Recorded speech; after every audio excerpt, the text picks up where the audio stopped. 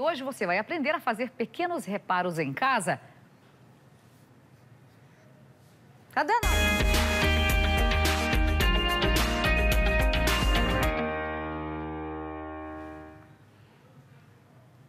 Quem volta para falar com a gente, trazer dicas de casa, fazer pequenos reparos em casa, inclusive ela está com um marido de aluguel. Natália, explica melhor essa história de marido de aluguel, Natália. É marido de aluguel, minha irmã, mas não é meu marido, não, viu? A gente tá falando aqui do Jefferson Bispo, profissional de primeira, inclusive já foi até lá em casa arrumar meu telhado lá que precisou. Ele trouxe algumas coisas aqui para ensinar pra gente. Ô, Jefferson, me conta, como é que você começou mexendo com isso? É eletricista, encanador, faz de um tudo, né? Bom isso, dia. Isso. Bom dia, é, bom dia pra todos, né? Eu comecei trabalhando numa escola, né? Eu fazia esses pequenos reparos, aí me dei a ideia de montar esse negócio pra mim. Porque o pessoal precisa de mais, principalmente Muito. a mulherada que está em casa, às vezes não tem um homem, alguém para socorrer. Vamos começar aqui, Jefferson, falando dessa duchinha aqui que o pessoal usa, minha irmã, para dar aquela limpadinha, né? A gente vai ensinar aqui essa duchinha, qual que é o segredo, meu irmão? Primeiro passo é a instalação. Quando você for instalar uma ducha higiênica, o único lugar que passa veda-rosca é nessa parte daqui, ó. Aí você passou o veda-rosca aqui e conectou ele lá, né? Certo?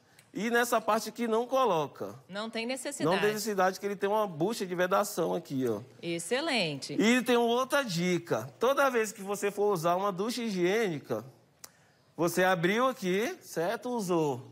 Aí você fecha o registro e tira a água daqui de, de dentro da mangueira.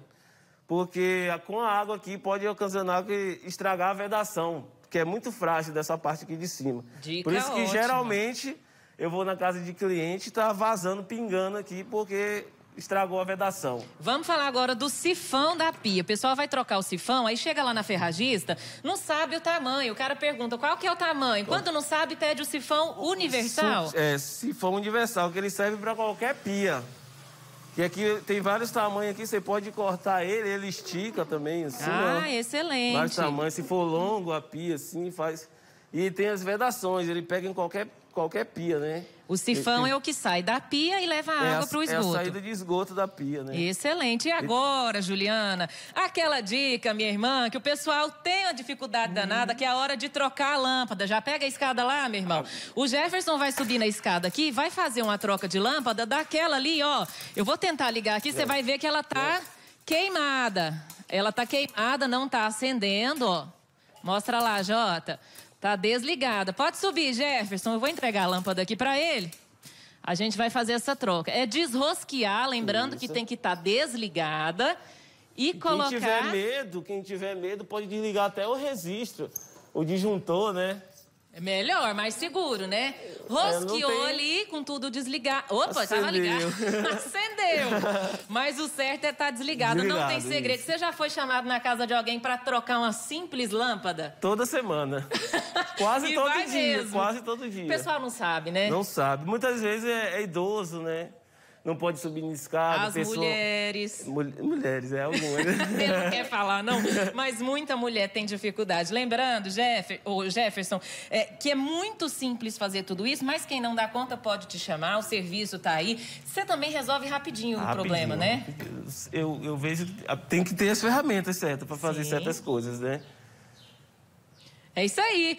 Travou aqui o homem, mas é isso aí, minha irmã. Não tem segredo, não. Precisando, chama o Jefferson, dá um jeito em casa. Ô, Natália, de todas essas informações que você trouxe, essas dicas Oi. que você trouxe aí, o mais bacana que eu observei foi o orgulho que o Jefferson tem de fazer esse serviço e outra coisa, de ensinar como fazer esse serviço. Um abraço, viu, Jefferson? Parabéns, viu? Essas dicas são ótimas, viu?